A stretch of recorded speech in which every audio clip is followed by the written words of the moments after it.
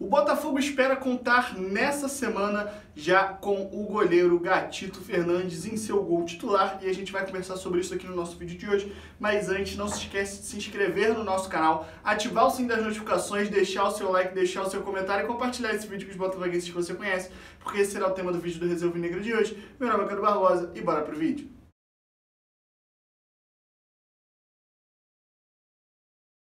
Já fazem cerca de um mês e meio, dois meses mais ou menos, que o Botafogo sofre com a ausência de Gatito Fernandes.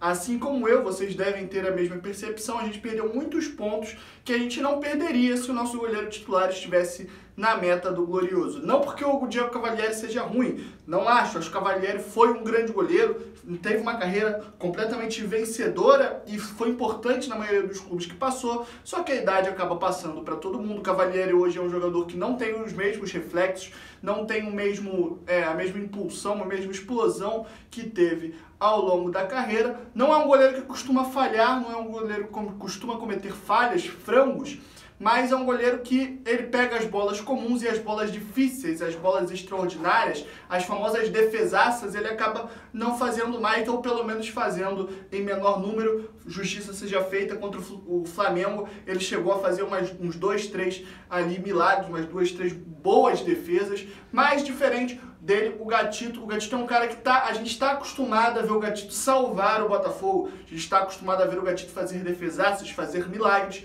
e numa dessa que ele pega tudo, pega até as bolas que a gente julga impossível, a gente acaba garantindo um ponto, acaba garantindo uma vitória, enfim. O Gatito Fernandes está fora já há bastante tempo por conta de um edema ósseo no joelho direito. Ele já, já tinha essa lesão no Botafogo, ele viajou para estrear pela seleção, pela, pelas eliminatórias da Copa do Mundo da América do Sul pela seleção paraguaia, jogou um jogo ali que tem gente dizendo que não era recomendado ele jogar porque a lesão não permitia, mas ele jogou aparentemente já machucado. Isso agravou um pouco a situação dele e desde então o Gatito Fernandes está fora do Botafogo.